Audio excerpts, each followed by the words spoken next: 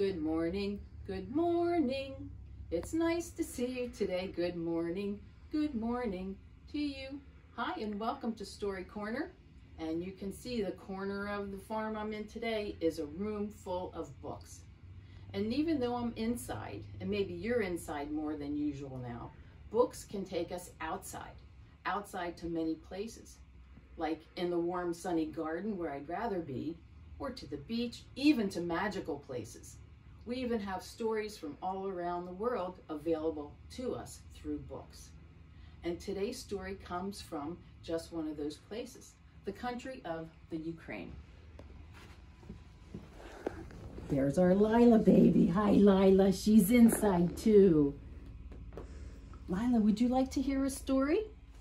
Okay. It's called The Mitten. It's a Ukrainian folk tale interpreted and illustrated by Jan Brett.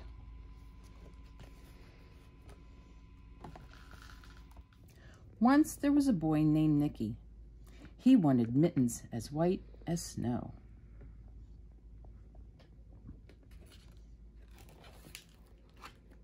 If you drop a white mitten in the snow, it will be hard to find, his grandmother told him. But Nicky wanted snow white mittens so much that Baba made them for him. When she finished knitting, knitting, Nicky put on the mittens and went out to play. It wasn't long before one mitten fell off. A little mole found it and crawled inside. It was just the right size, so he decided to stay.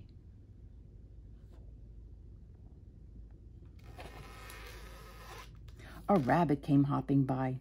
He wiggled in next to the mole.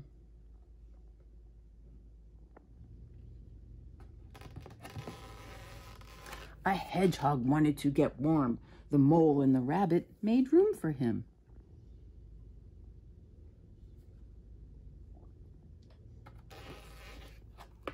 The owl didn't want to be left out, so the mole, the rabbit, and the hedgehog had to move over. The little mitten was getting crowded.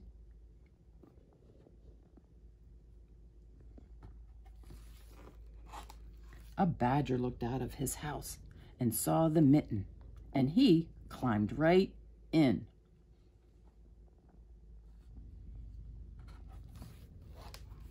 It started to snow, so a fox pushed his way in and made himself right at home.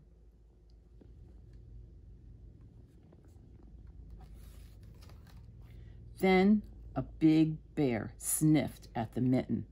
The animals were packed in tight, but the bear didn't care. He crawled in anyway. The mitten was getting bigger and bigger and bigger.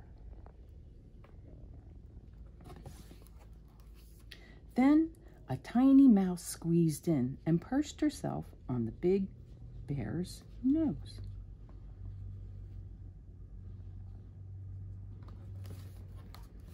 The mouse's whiskers tickled the big bear's nose. Ah, ah, chew! The bear sneezed, and all the animals flew out of the mitten.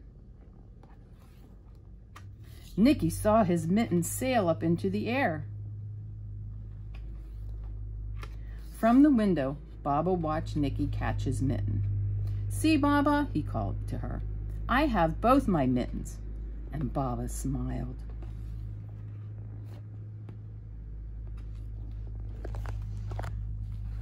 I'd be smiling too. And I think all those animals should have been smiling because they already had their fur, feathers, and fluff to keep them warm. But being all cuddled in that mitten, they must have been nice and cozy. Thanks for visiting us on Storytime. See you next time. Back to work.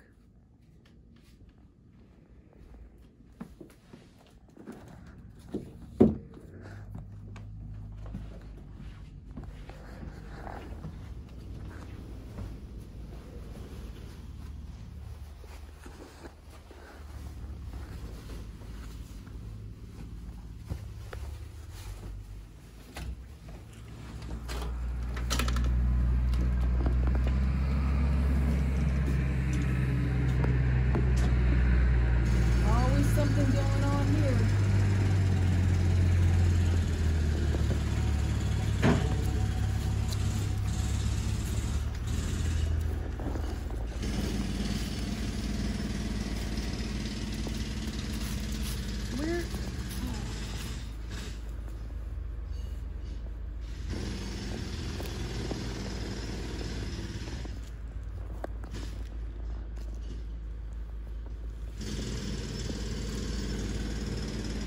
Pretty cozy.